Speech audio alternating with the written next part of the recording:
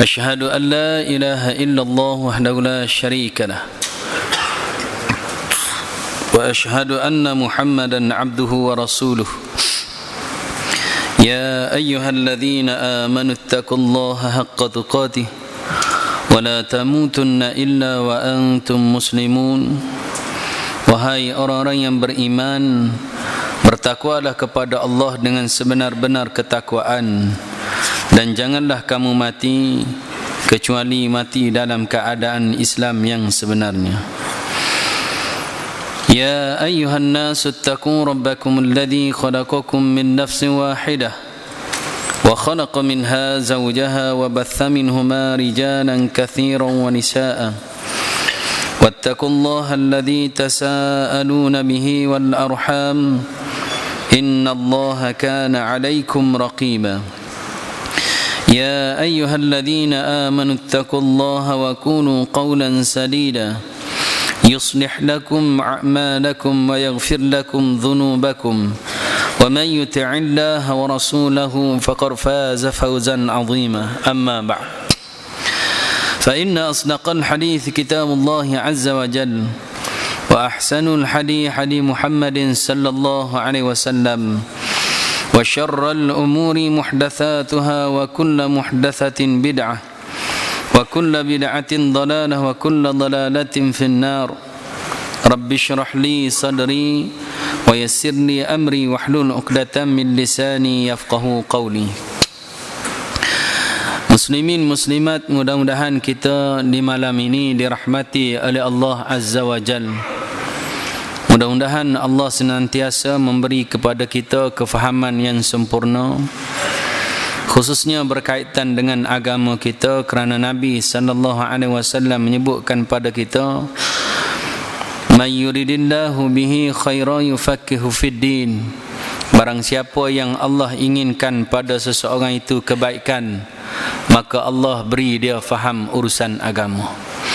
Jadi tuan-tuan sidang jamaah yang dirahmati Allah kita sama-sama kongsi ilmu agama jadi tuan-tuan ni mudah-mudahan memberi manfaat kepada kita di dunia dan lebih-lebih lagi di akhirat nanti. Mudah-mudahan kita akan bahagia di dalam syurga Allah Azza wa Jal. Amin ya rabbal alamin. Malam ni tuan-tuan ni kita sambung 62 amalan pembuka pintu syurga. Jadi tuan-tuan ni 31 hari bulan ada kursus jenazah. Haji nama siapa Haji? Haji? Haji Din? Ni Haji Ni Rasanya dulu kerja bank eh? Nah Tuan-tuan ni saya nak sebut sikit tuan-tuan uh, Kadang-kadang masyarakat kita Menilai seseorang itu dari segi latar belakang Saya bukan nak mengatakan Haji Din ni Saya nak support ni Nampak gaya saya support tak? tuan-tuan macam ni tuan-tuan. Masyarakat kita ni kadang-kadang melihat latar belakang tuan-tuan. Latar belakang tu macam mana? Kadang-kadang bila kita nak ambil ilmu agama, kita tengok dia dulu ni belajar apa. Nah, jadi tuan-tuan ni kalau dia tu daripada sekolah agama, pondok, apa nama, masuk universiti bahagian agama, oh okey okey, yang ni tak ada masalah. Yang ni tak ada masalah. Tapi kadang-kadang ada di kalangan kita bila ada satu orang yang nak menceritakan agama, bila tengok latar belakang dia daripada sekolah sekolah apa? Mak Saleh. Sekolah Kristian. Nah, jadi tuan-tuan Dan tuan-tuan ni dia bukan Bila dia bekerja pun bukan bidang-bidang apa nama Agama. Memanglah dia ada sekolah tu kan? Masuk universiti pun bidang lain nah? Jadi tuan-tuan ni Tuan-tuan sidang jamaah yang rahmati Allah Satu sudut tuan-tuan bagus perkiraan sedemikian. Namun tuan-tuan Ilmu agama ni tuan-tuan Kita boleh miliki Peringkat bila tuan-tuan Kita boleh miliki ilmu agama? Umur kita berapa tahun? Dia tak kisah umur sebenarnya tuan-tuan. Nah bila masa kita belajar agama tuan-tuan ni kalau kita dapat ilmu agama makna dia kita akan dapat. Kalau mungkin dulu peringkat awal kita kita bukan bidang aliran apa nama bidang uh, bidang agama tuan-tuan bukan kita sekolah Arab bukan kita sekolah pondok tapi tuan-tuan peringkat satu peringkat tuan-tuan ada seorang uh, saya dengar cerita tuan-tuan ni ada satu orang banker tuan-tuan banker orang panggil kerja bank Nah, dia kerja bank tuan-tuan ni.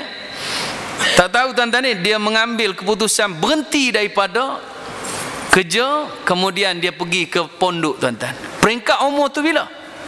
Umur sudah lanjut tuan-tuan. Tak adalah lanjut umur 70. Sebab biasa 70 ni kalau dengar kuliah pun dia tidur. Nah, tapi orang 70 asabir ni dia tak tidur tuan-tuan. Nah, jadi tuan-tuan sidang jamaah yang rahmati Allah. Jadi tuan-tuan ni peringkat macam tu tuan-tuan dia balik nah, selesai pengajian dia balik tuan-tuan orang minta dia untuk mengajar. Boleh tak dia mengajar?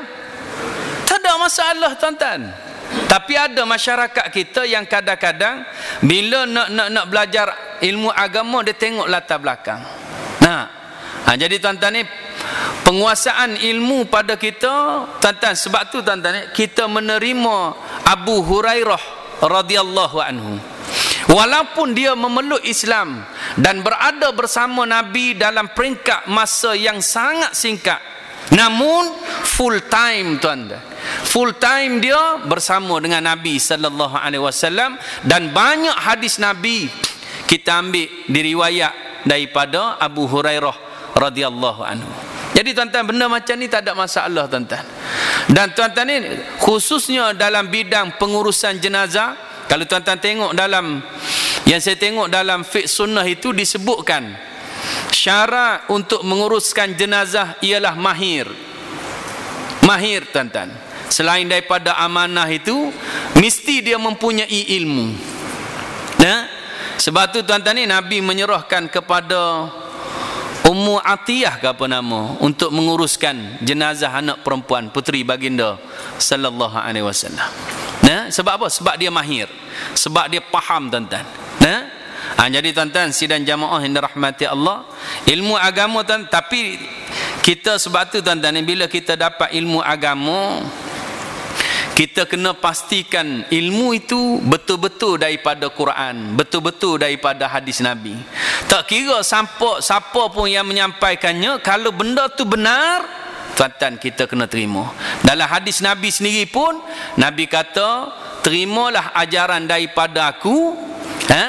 hadis Nabi walaupun disampaikan oleh seorang hamba Habsyi. Hamba Habsyi Dahlah hamba tuan-tuan Habsyi pula Tahu Habsyi?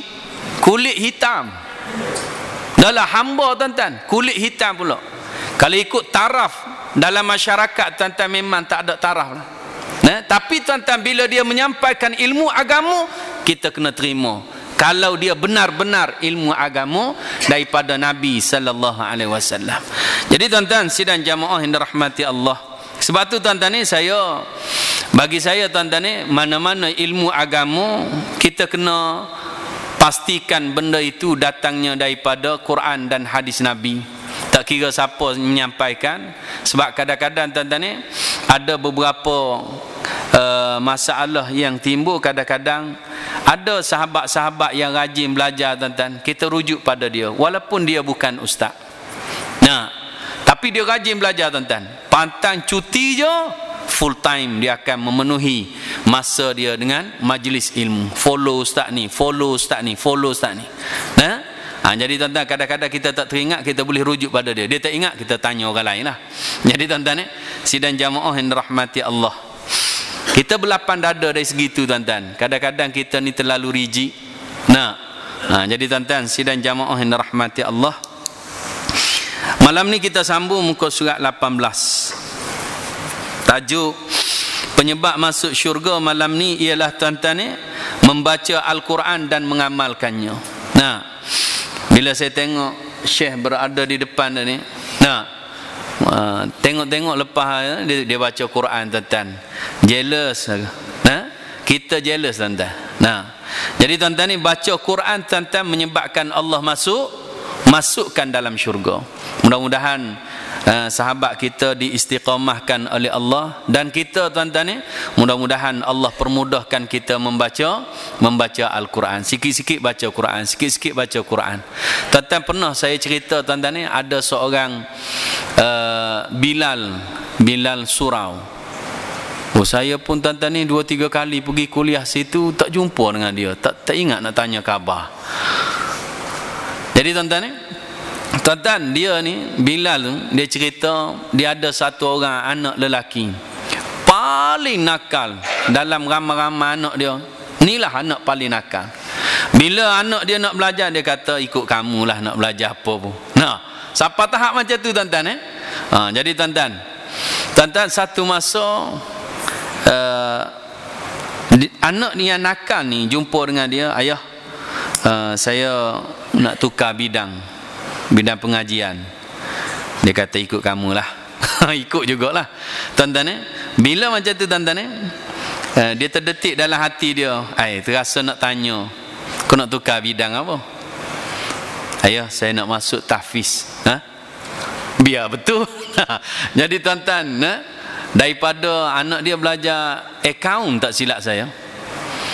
Tuan-tuan ni habis diploma akaun tu dia nak masuk tahfiz tuan-tuan betul ke ni nak masuk tahfiz betul tak ha? betul ayah dia kata jadi tuan-tuan ni ayah dia pun uh, tanya nak masuk tahfiz mana dia ada dah tuan-tuan tempat yang dia nak masuk di Kelang tuan-tuan jadi tuan-tuan ni Eh, dia dalam percaya ke tak percaya tuan-tuan sebab anak dia ni kan nakal tuan-tuan eh? Jadi tuan-tuan ni dia pun ikut je lah anak dia nak buat apa. Tuan-tuan dia masuk masuk tahfiz tuan-tuan. Tuan-tuan anak yang paling nakal peringkat awal-awal dulu. Tuan-tuan satu perubahan yang Allah bagi pada dia. Sehingga dia mencintai Al-Quran tuan-tuan ni dan yang menitiskan air mata ayah ini tuan-tuan ni bila setiap kali dia balik dia tidak akan le, le, lekang orang panggil Dekat tangan dia ada Al-Quran kecil tuan-tuan. Setiap saat dia boleh tengok anak dia yang nakal ni, dulu nakal. Tuan-tuan, Quran sentiasa ada di tangan. Kejap-kejap buka. Kejap-kejap buka. Sebab apa? Sebab dia hafiz. Dia kena apa nama? Uh, apa nama dia panggil? Ah, lancarkan, lancarkan bacaan dia. Jadi tuan-tuan ni, dia tengok tu tuan-tuan, menitis air matanya menitis air mata sebab apa? Sebab gembira tuan-tuan. Gembira tuan-tuan. Eh? jadi tuan-tuan sidang jamaah yang dirahmati Allah bagi kita tuan-tuan ni uh, mudah-mudahan tuan-tuan ni Al-Quran bila kita baca-baca tuan-tuan ni Quran menjadi syafaat kepada kita di hari akhirat nanti yang Nabi sebut pada kita Iqra'ul Quran fa innahu ya'ti yaumal qiyamati syafi'an li ashabi. Eh, bacalah oleh kamu sekalian Al-Quran itu.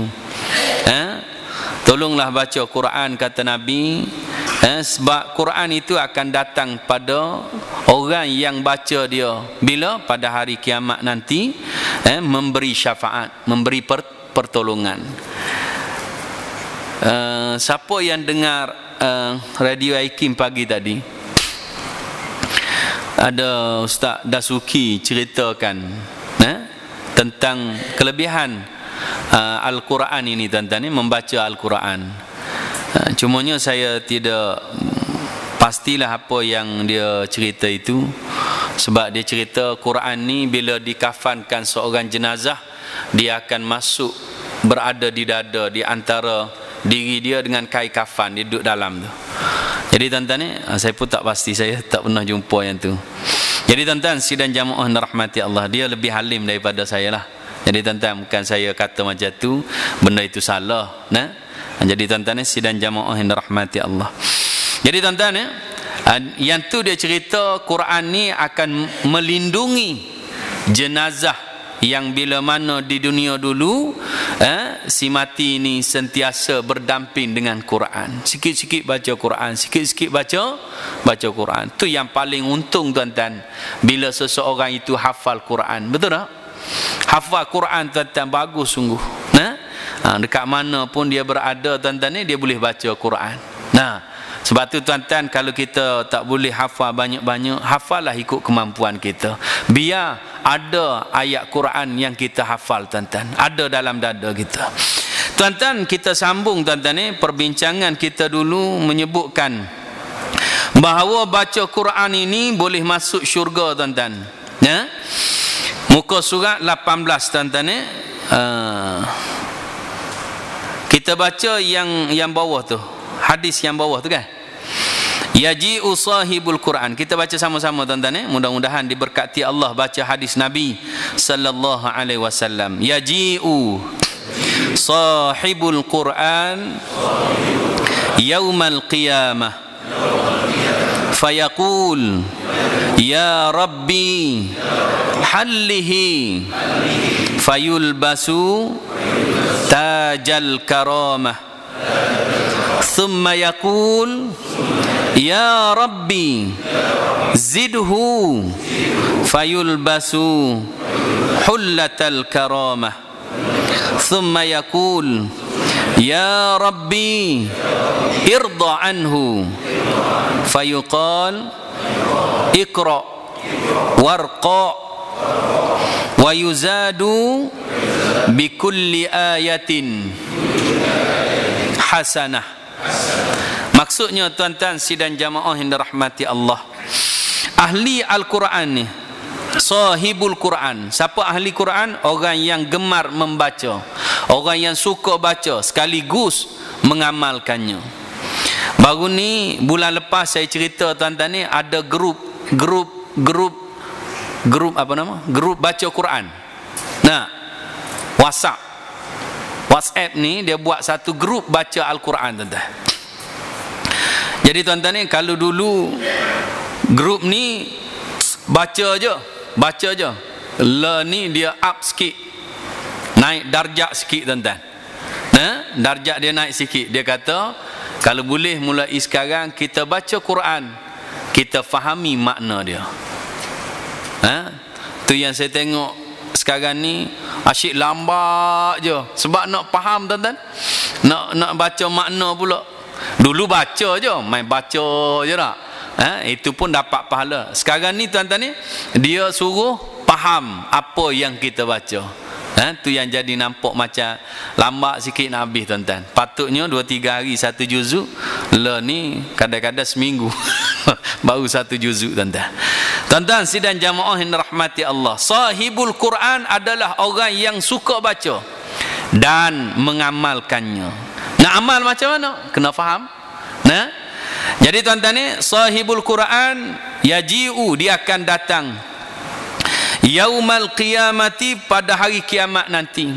Fayaqul maka Quran akan berdoa pada Allah. Quran akan minta pada Allah. Apa kata Quran? Ya Rabbi hallihi. Wahai Tuhanku ya Allah pakaikanlah kepadanya yakni ahli Al-Quran itu perhiasan-perhiasan. Nah? Fayul basu tajal karamah lalu dia pun dipakaikan dengan perhiasan kemuliaan tuan-tuan. Mahkota kemuliaan eh, dipakaikan mahkota kemuliaan Allah pakaikan pada siapa?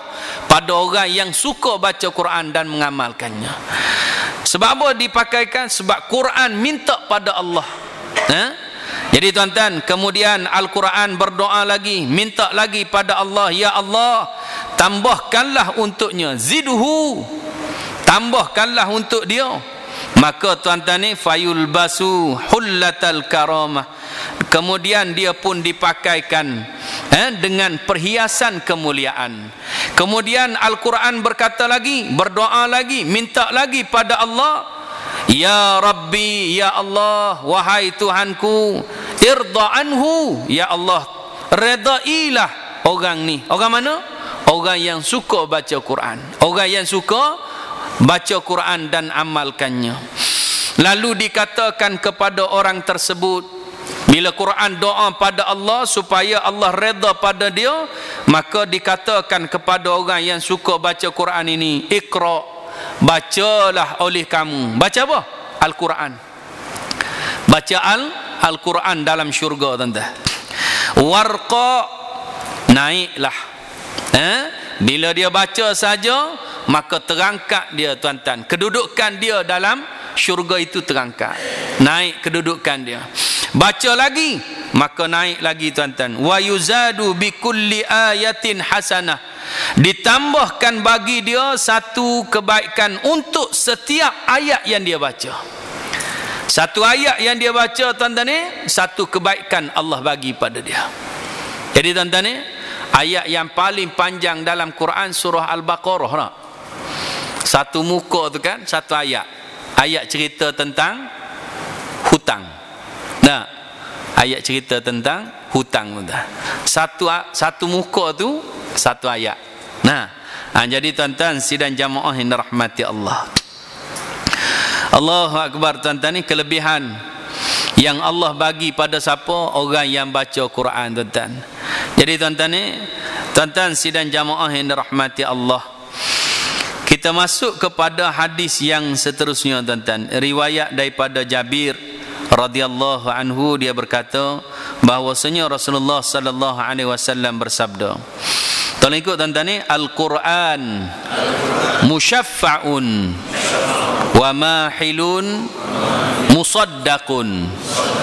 Man ja'alahu amamahu qadahu ilal jannah.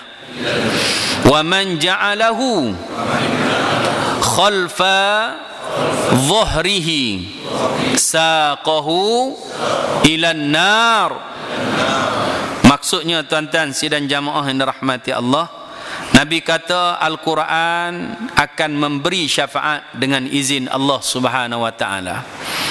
Dari segi syafaat ni, tanda ni setiap yang boleh bagi syafaat mesti mendapat izin daripada Allah. Orang yang layak terima syafaat mesti diredai oleh Allah. Itu syarat syafaat tuan-tuan. Nah, syarat syafaat macam mana? Orang yang nak bagi syafaat itu mesti diizinkan Allah. Orang yang layak menerima syafaat itu mesti diredai oleh Allah Azza wa. Al-Quran kata Nabi akan memberi syafaat dengan izin Allah dan dia merupakan lawan berdebat yang jujur. Wa mahilum musaddaq. Dia ni lawan berdebat yang ju, jujur.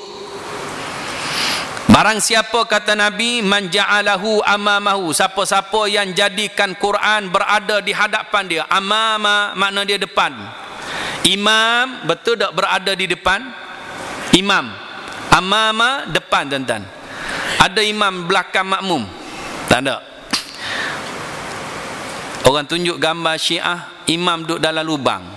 Nah Itu betul tak betul tuan-tuan Kita pun gambar-gambar je. Wallah alam lah tuan-tuan Dia ada ada alasan macam-macam lah orang bagi. Wallah alam tuan-tuan. Jadi tuan-tuan Sidang jamaah yang rahmati Allah. Hmm. Nabi kata Siapa yang letakkan Quran di hadapan dia? Bukan ambil Quran letak depan macam ni Makna dia jadikan Quran sebagai pimpinan dia. Jadikan Quran sebagai panduan hidup dia. Jadikan Quran sebagai rujukan dia tuan-tuan. Eh, makna dia apa-apa yang ada dalam kehidupan dia mesti dia pandukan pada Quran. Nah, ha, jadi tuan-tuan ya, maka tuan-tuan kelebihan dia kata Nabi qadahu ilal jannah. Quran akan pimpin dia masuk syurga Allah Azza wa Jal Quran akan bawa dia tuan-tuan ni masuk syurga tuan-tuan. Quran tuan-tuan ni boleh bagi syafaat. Tapi tuan-tuan ni ingat Quran juga adalah pendebat yang jujur tuan-tuan. Tengok yang kedua tuan-tuan. Kalau kita letak dia di hadapan jadikan dia sebagai pimpinan kita tuan-tuan ni. Kalau dalam apa nama orang panggil apa? Talqin talqin Wama imamuka Betul tak? Eh tuan-tuan tak hafal lah Macam mana nak mati ni tuan-tuan? Ha?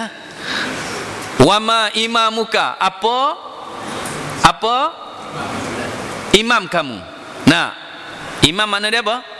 Pemimpin kamu Nah Kita jawab Naji Anaknya ah, tuan-tuan Nah ha? jadi tuan-tuan sidang jamaah rahmati Allah tuan-tuan uh, apa imam kita tuan-tuan? Nah?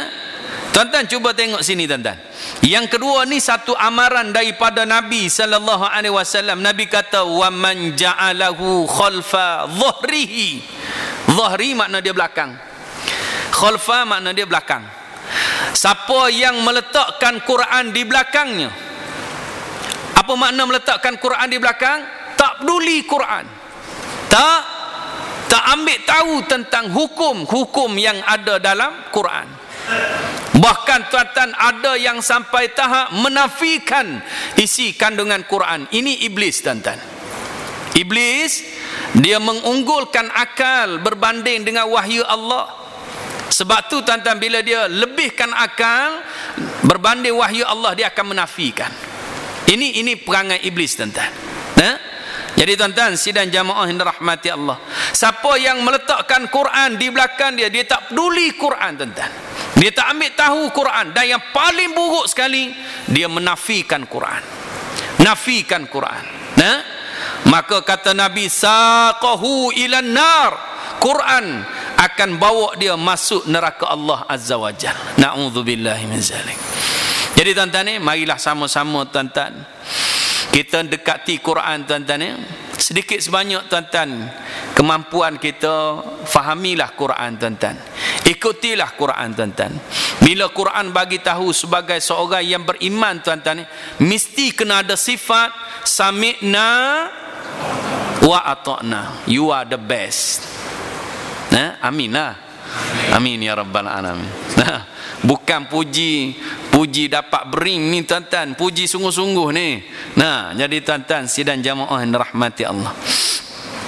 Jadi tuan-tuan ni kita dekati Quran. insya-Allah tuan-tuan ni Quran akan bantu kita untuk mudah-mudahan eh, membantu kita masuk syurga Allah Azza wa Jalla. Amin. Amin ya rabbal alamin. Tuan-tuan sidang jamaah yang rahmati Allah Imam Ibnu Athir berkata maksudnya bahawasanya Quran akan menjadi lawan berbantah yang jujur yakni siapa sahaja yang mengikuti dan mengamalkan apa yang terkandung di dalam Al-Quran nescaya dia akan menjadi pemberi syafaat yang syafaatnya akan diterima oleh Allah Azza wa Jal. Dan ia adalah pembukti bagi segala keburukan orang tersebut apabila dia tidak mengamalkan Al-Quran Al-Quran sebahagian ayat Habis itu tuan-tuan eh? Yang hadis-hadis yang kita baca di awal tadi tuan-tuan eh? Ataupun pada bulan lepas sebahagiannya Itu hadis-hadis yang menunjukkan baca Quran secara umum Mana dia baca Quran je insya-Allah masuk syurga tuan-tuan. Eh? Sekarang ni kita masuk kepada sebahagian ayat ataupun surah-surah di dalam Al-Quran memiliki kelebihan keutamaan tersendiri tuan-tuan. Iaitu bahawa ayat-ayat dan surah-surah tersebut merupakan salah satu penyebab seseorang masuk syurga tuan-tuan.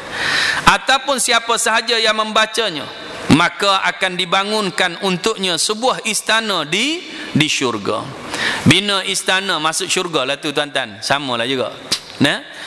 Bukan bina saja. Lepas tu tuan dia masuk neraka. Tak ada nah tak jadi macam tu tuan-tuan.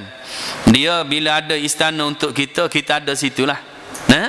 Ha, jadi tuan-tuan sidang jamaah yang rahmati Allah. Di antaranya tuan-tuan ni ayat yang secara direct Nabi sebut pada kita bila kita amal tuan-tuan ni ayat dan surah ni menyebabkan kita masuk syurga yang pertama ialah ayat kursi yang ni masyhur masyhur tuan-tuan ya ha. jadi tuan-tuan sidang jamaah yang rahmati Allah Jangan masyur kata ayat kursi halau hantu saja tuan-tuan. Eh? Nah, ha, ayat kursi ni penyebab kita masuk syurga tuan-tuan. Ayat kursi apa? Penyebab masuk syurga. Tuan-tuan telah ikut hadis riwayat Abu Umamah radhiyallahu anhu dia berkata bahwasanya Rasulullah sallallahu alaihi wasallam bersabda. Telah ikut tuan-tuan. Man qara'a ayatal kursi fi duburi kulli salatin maktubatin lam yamna'hu min dukhulil jannah illa an yamut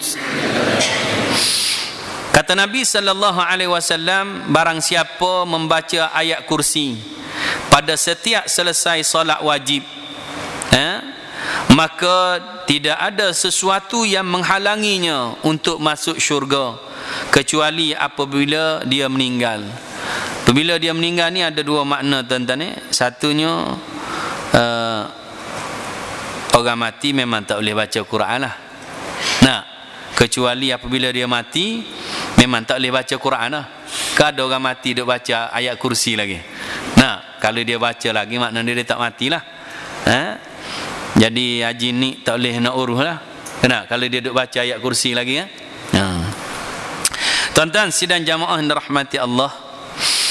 Satu lagi makna dia kalau nak masuk syurga mesti mati dulu. Betul tak? Ha. Jadi tuan-tuan sidang jamaah yang dirahmati Allah. Jadi benda ni tuan-tuan ni saya rasa banyak kali dah saya sebut dalam seribu sunnah dulu dan mungkin ustaz lain pun banyak sebut dah tuan-tuan ya. Ha, tapi kadang-kadang uh, kekuatan kita untuk mengamalkannya. Sebab tu tuan-tuan ni tiap kali selesai solat wajib solat fardu tolong jangan lupa baca ayat kursi. Penyebab kita masuk syurga tuan-tuan. Rugi tuan-tuan kalau tak baca. Nah ha? jadi tuan-tuan ni sebab tu tuan-tuan saya mulai saya belajar hadis ni tuan-tuan saya tak pernah miss baca ayat kursi. Setiap kali selesai solat fardu tuan-tuan. Nah mesti saya baca tuan-tuan. Jadi tuan-tuan ni kadang-kadang ada setengah-setengah imam dia terasa tekanan tuan-tuan biasanya tekanan ni datang daripada syaitan lah dia kata cepat-cepat lah orang nak kerja no. jadi tuan-tuan eh? ha, jadi bila macam tu dia akan uh, dia akan potong lah mana-mana zikir yang ada tu kan jadi dia akan pilih ha, ini terserah pada imam lah. dia nak pilih yang mana tapi kalau boleh mana-mana yang jadi imam kalau boleh jangan tinggal ayat kursi. Sebab apa? Sebab penyebab masuk masuk syurga tuan-tuan. Ha, jadi tuan-tuan, sidang jamaah yang dirahmati Allah. Jadi tuan-tuan ni, ha, kalau tuan-tuan ni berhadapan dengan imam yang tak baca, tuan-tuan bacalah. Tak salah. Kita waktu tu tak ikut imam tak apa tuan-tuan. Imam tak baca, kita baca. Nah, makna dia imam yang tak dapat kita dapat tuan-tuan.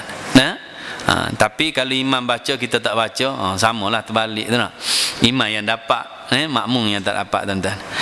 Tapi tuan-tuan yang paling bagus imam baca makmum baca tuan-tuan. Betul tak? Dua-dua akan dapat. Tuan-tuan sidang jamaah yang dirahmati Allah.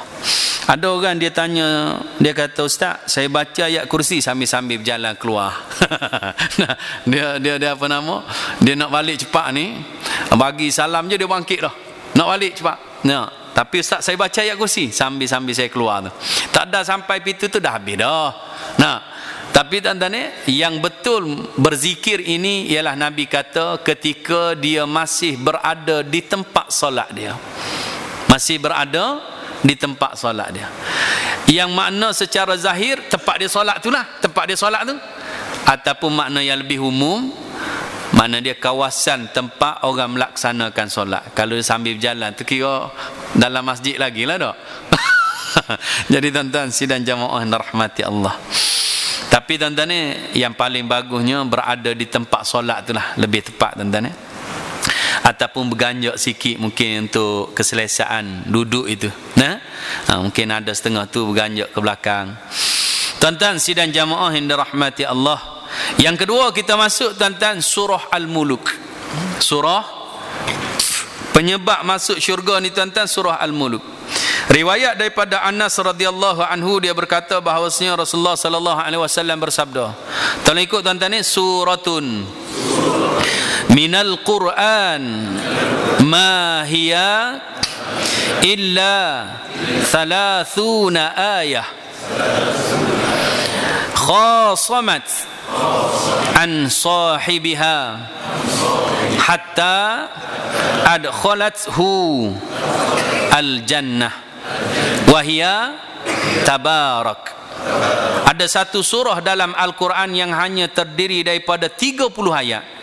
Namun ia akan membela orang yang membacanya sampai ia dimasukkan sampai ia memasukkannya ke dalam syurga. Dia bela dia bela bela sampai boleh masuk syurga tuan-tuan nah. Surah itu adalah surah tabarak iaitu surah al-muluk. Yang kalau sebut tabarak saja banyak lagi surah lain pun mula dengan tabarak eh. Surah apa eh?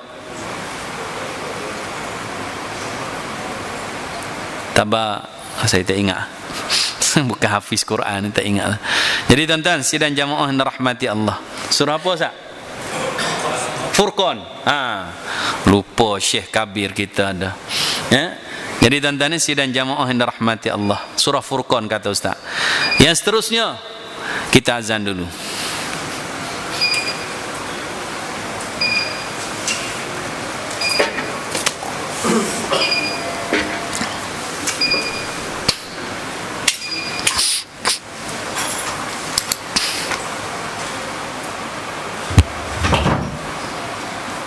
الله أكبر الله أكبر. الله أكبر الله أكبر. أشهد أن لا إله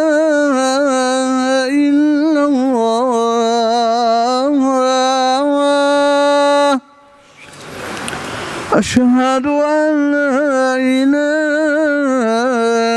إلا الله.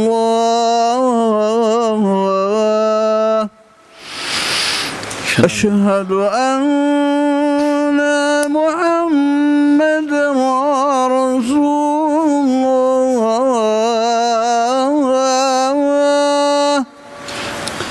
أشهد أن محمدا رسول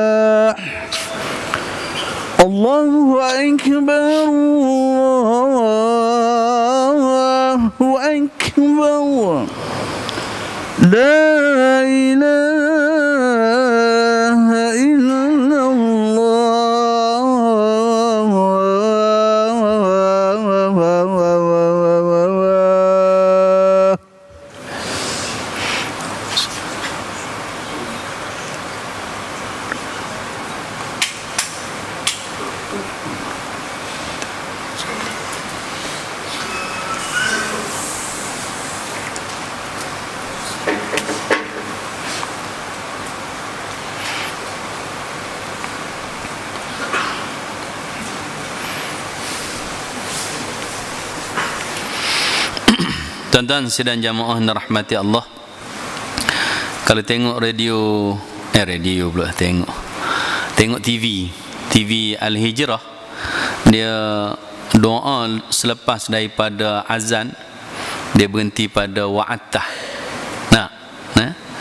Wa'atah tu dia berdasarkan hadis sahih lah. Hadis sahih dia berhenti sampai situ. Ha, Kalau innaka la tukhliful mi'ad Innaka la tukhliful mi'ad uh, itu daif tuan-tuan. Eh? jadi tuan-tuan sidang jamaah yang rahmati Allah. Nak baca ikut kita lah. Nak terus sampai innaka la tukhliful mi'ad ataupun berhenti pada wa'atah. Kadang-kadang ada setengah kita dia nak semua sahih belaka jadi berhenti sampai situ lah. Jadi tuan-tuan ni sidang jamaah yang rahmati Allah. Tuan-tuan kita sambung sikit lagi tuan-tuan ya. Uh, satu lagi hadis Nabi berkaitan dengan kelebihan suratul muluk. Imam Tirmizi meriwayatkan pula daripada Abu Hurairah radhiyallahu anhu. Dengan matan hadis yang berbunyi tolong ikut tuan-tuan suratun. Minal Quran thalathuna ayah. Syafa'at lirajulin hatta ghufira lah wahia suratu tabarakalladzi biyadihil mulk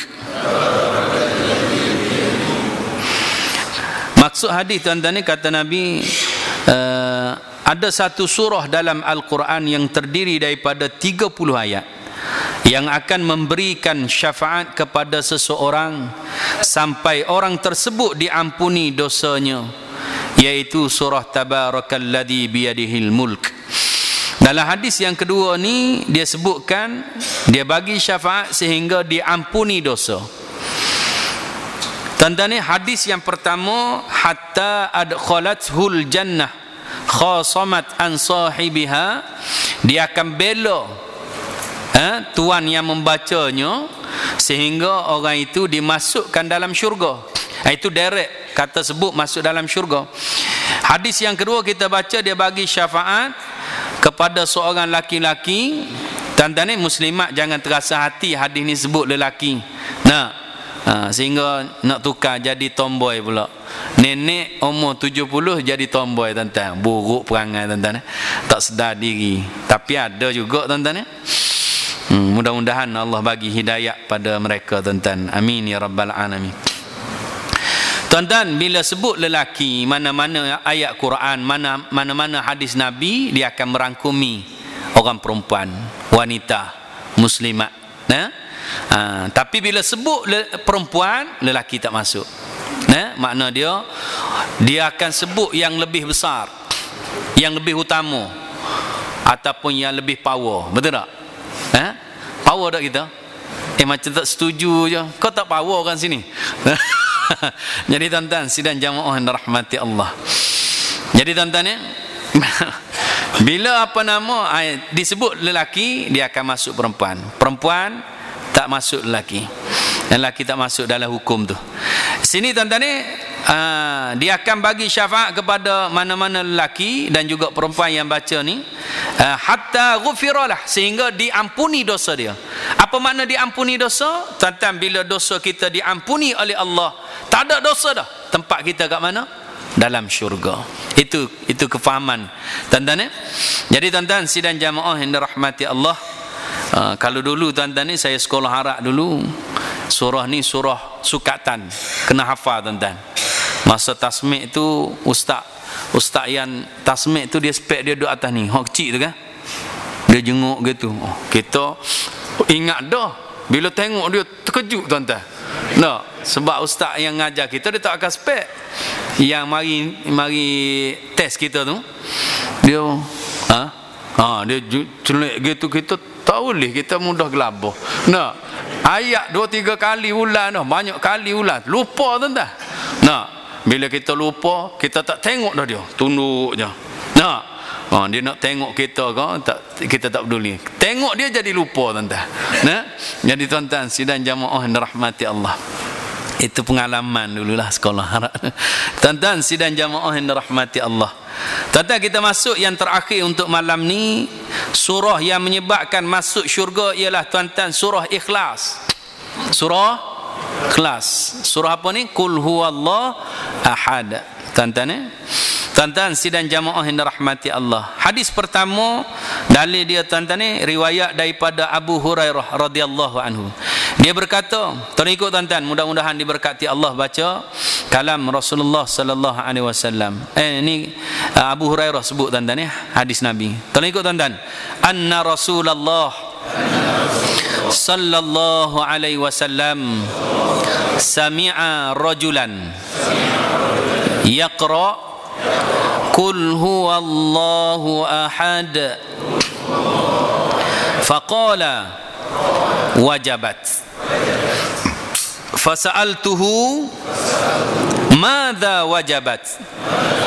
Ya rasulullah ya rasulullah faqala al jannah Maksudnya tuan-tuan ni bahawasanya Rasulullah sallallahu alaihi wasallam pernah mendengar seorang laki-laki sedang membaca surah Al-Ikhlas. Qul huwallahu ahad.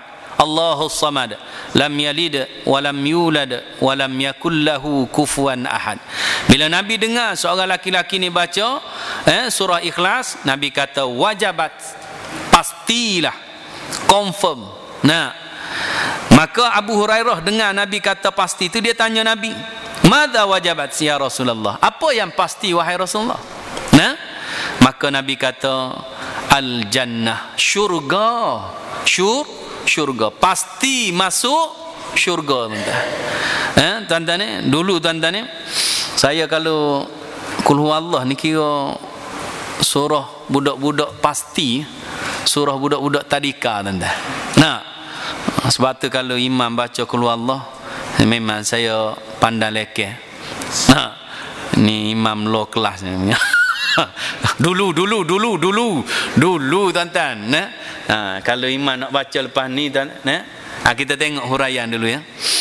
Tuan-tuan kalau tepat kita ni tuan-tuan ni baca keluar Allah. Asyik-asyik dia jadi imam keluar Allah je imam ni.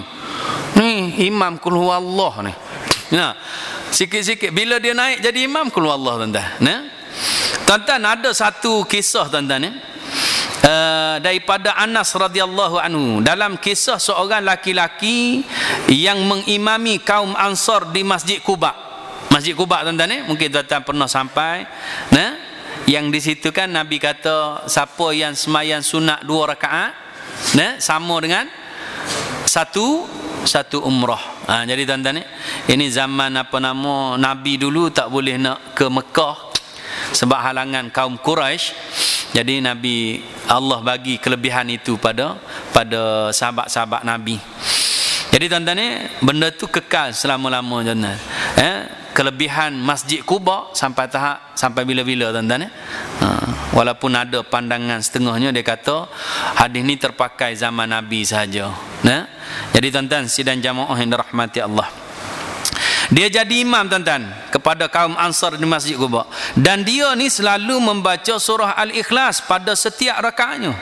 Rakaat pertama keluar Allah, rakaat kedua pun keluar Allah. Ha, kalau tepat kita ni tuan-tuan eh. Ha, kena report ni tuan-tuan. Eh zaman Nabi dulu report juga ni tuan-tuan. Report dah tuan-tuan eh. Bukan zaman kita lah ni. Nabi sallallahu alaihi wasallam menanyakan kepadanya. Mana dia? bila apa nama uh, Nabi kebetulan pergi ziarah Masjid Kuba ni orang report pada Nabi maka Nabi pun jumpa dengan dia Nabi tanya dia eh, apa yang membuat mu membaca surah ini pada setiap rakaat Nah, ada satu riwayat tu sebelum dia baca surah lain dia baca qul Allah dulu. Nah. Ha, jadi tuan-tuan sidang jamaah yang rahmati Allah. Ataupun satu riwayat menyebutkan tiap-tiap rakaat kul huwallah tuan-tuan. Nah tuan-tuan dia menjawab imam ni jawab tuan-tuan eh wahai Rasulullah sesungguhnya aku sangat mencintainya. Oh dia kata dia sangat mencintai kul huwallahu ahad sama dok dengan kita tuan-tuan kita kan sikit-sikit semayang kan kul huwallah tuan-tuan eh nah ha, tuan-tuan tengok tuan-tuan kelebihan tuan-tuan eh ha, jangan pandang lekeh macam siapa tadi saya cerita? Pandai lekeh tuan-tuan. Tuan-tuan ni Rasulullah sallallahu alaihi wasallam bersabda bila dia kata ya Rasulullah saya sangat mencintainya. Nabi kata apa? Tolong ikut tuan-tuan. Inna hubbaha adkhalakal jannah. Sesungguhnya kecintaan kamu pada kul huwallahu ahad ini menyebabkan Allah masukkan kamu dalam syurga.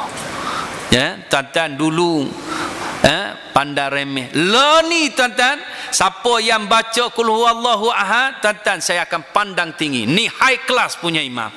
Tuan-tuan eh Imam dia Allahu Akbar lepas Al-Fatihah tuan-tuan ni dia baca Bismillahirrahmanirrahim Kul huwallahu ahad tuan-tuan saya rasa seronok sangat tuan-tuan nah sebab apa tuan-tuan ni sebab cepat habis tuan-tuan Jadi tuan-tuan, sidang jamaah yang rahmati Allah. Tuan-tuan, betul-betul ni.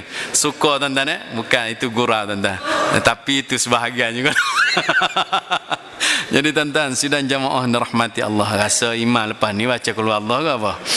Jadi tuan-tuan, sidang jamaah yang rahmati Allah. Tapi iman kena habis tu. Dia dia dia sambung ayat-ayat. Nah. Ha, jadi tuan-tuan, sidang jamaah yang rahmati Allah. Tuan-tuan yang terakhir tuan-tuan. Yang terakhir, hadis yang terakhir berkaitan kelebihan membaca uh, surah Al-Ikhlas tuan-tuan. Daripada Muaz bin Anas radhiyallahu anhu daripada Nabi sallallahu alaihi wasallam baginda bersabda tuan-tuan yang terakhir kita baca hadis Nabi. Tolong ikut tuan-tuan. Man qaraa kul huwallahu ahad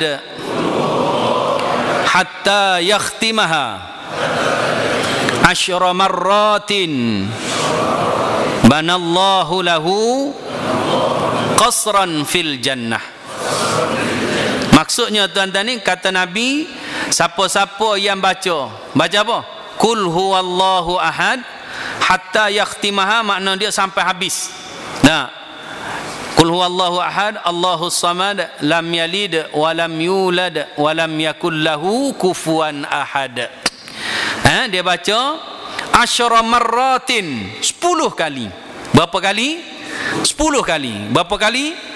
10 kali. Ha? Eh, macam pernah tanya je sini tuan-tuan eh? Nah, jadi tuan-tuan sidang jamaah dan rahmati Allah. Tuan-tuan kata Nabi siapa yang baca kul huwallahu ahad sampai habis ni walam yakul lahu kufuwan ahad eh?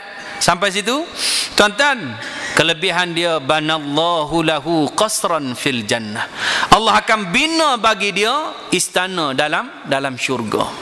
Allah bagi bagi dia istana dalam syurga tuan-tuan. Baca berapa kali? 10 kali tuan-tuan. 10 10 kali. Nah. Ha, jadi tuan-tuan ni, ingat tuan-tuan, balik ni 10, 10, 10 nah. Ha. Jangan ingat nombor je. 10 kali kena baca apa? Kul huwallahu ahad. Balik daripada masjid sambil-sambil jalan ke naik motor ke naik kereta ke tuan-tuan ni, pastikan tuan-tuan lepas ni 10 kali 10 kali apa? Baca kul huwallahu ahad. Boleh tak tuan-tuan? Insya-Allah tuan-tuan ni saya doakan Mudah-mudahan semua yang ada dalam Masjid As-Sabirin ini mudah-mudahan Allah permudahkan kita baca Al-Quran setiap masa, setiap ketika di mana sahaja kita berada.